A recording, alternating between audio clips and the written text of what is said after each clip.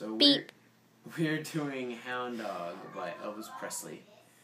And there's only three chords. There's an A chord looks like this. There's a D chord looks like this. And there's an E chord looks like this. So do A, you have second fret on the D, G, and B string with your first, middle, and ring finger.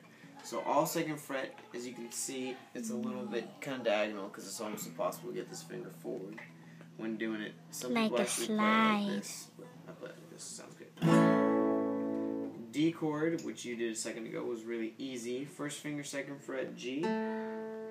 Third finger, third fret, B. And middle finger, second fret, E.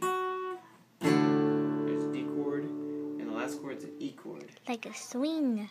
Open, I guess. Yeah, open, second fret on the A, second fret on the D, first fret on the G, open, open on the B and E. And I use my middle ring first fret. And that's a mountain.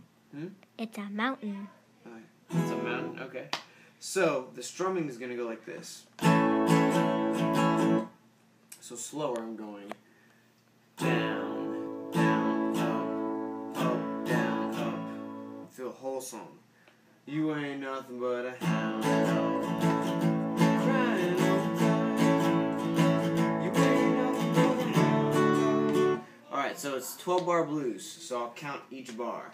You ain't nothing but a one.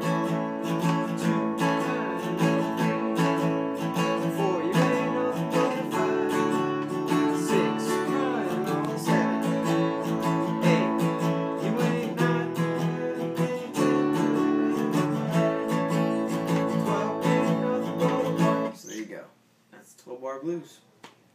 Good luck.